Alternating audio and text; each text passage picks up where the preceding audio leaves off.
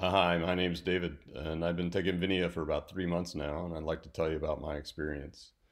Uh, about over over a year ago, I went to see the doctor. I came back with uh, a couple different prescription medicines for high blood pressure, another prescription for high cholesterol.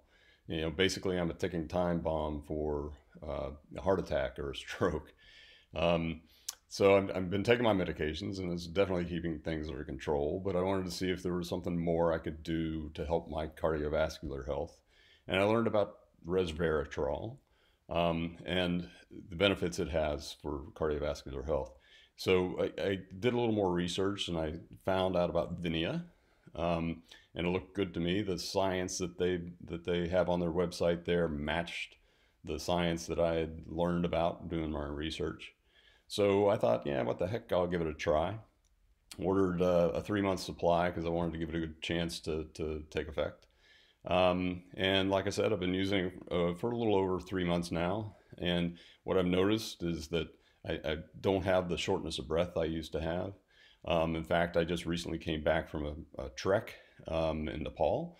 Um, that uh, you know, I and I didn't have any trouble keeping up with the the party as we were hiking at the high elevations there.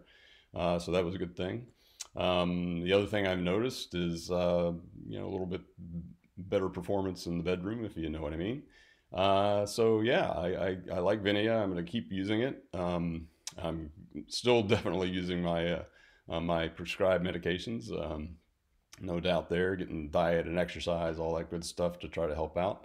Um, but yeah, so I'm supplementing Vinia. Uh, I highly recommend it. I think it's it's doing me good, um, and I think it'll do you good too. Bye.